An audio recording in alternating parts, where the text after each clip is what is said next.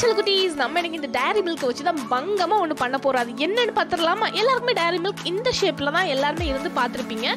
இல்லைன்னா சின்ன டேரி மில்க் இல்லைன்னா பெரிய டேரி மில்க் எல்லாமே உங்களுக்கு தெரியும்.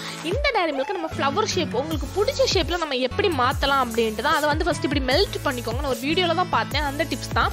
அதை வந்து ஒரு கரண்டியில் வந்து நம்மளுக்கு என்ன ஷேப்புக்கு வேணுமோ அந்த ஷேப்புக்கு நம்ம வந்து கரெக்டாக வந்து நான் இப்போ ஃப்ளவர் ஷேப் தான் வரேன் பட் பார்க்க ஃப்ளவர் ஷேப்பில் இருக்காது. உங்களுக்கு ஏதாவது க்ரியேட்டிவ் மைண்ட் இருந்துச்சுன்னா நீங்கள் என்ன வேணாலும் பண்ணிக்கலாம். ஸோ ஸோ நான் அதை வந்து ஐஸ் க்யூப்பில் வந்து ஐஸ் தண்ணியில் வந்து போட்டுட்டு ஒரு ஃபைவ் மினிட்ஸ்க்கு அப்புறம் எடுத்து பார்த்தீங்கன்னா அது அப்படியே வந்துடும் சொன்னாங்க. பட் இது எனக்கு கொஞ்சம் கஷ்டமாக இருந்துச்சு. பட் நான் சொந்தமாக என்ன யோசித்தேன்னா எதுக்கு கரண்டியில் சுற்றணும் நம்ம தண்ணியிலேயே சுற்றலாமே அப்படின்ட்டு நான் வந்து ஒரு சின்ன ஃப்ளவர் மாதிரி தான் வந்தேன். ஏன்னா எனக்கு அவ்வளோவா வரைய வராது. ஸோ உங்களுக்கு என்ன பிடிச்சிருக்கோ அதை பண்ணுங்கள் நான் ஒரு டூ செகண்ட்ஸில் எடுத்து பார்த்தா எனக்கு சூப்பராக வந்துச்சு.